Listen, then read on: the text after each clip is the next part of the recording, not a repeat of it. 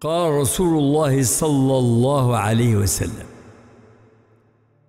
ما يصيب المؤمن من وصب ولا نصب ولا سقم ولا حزن حتى الهم يهمه إلا كفر به من سيئاته.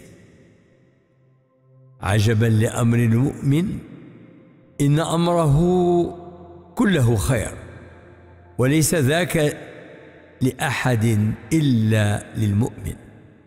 إن أصابته سراء شكر فكان خيرا له.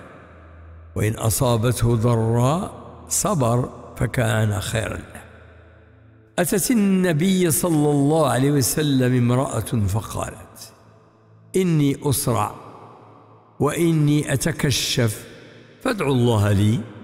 قال صلى الله عليه وسلم إن شئت صبرت ولك الجنة وإن شئت دعوت الله أن يعافيك.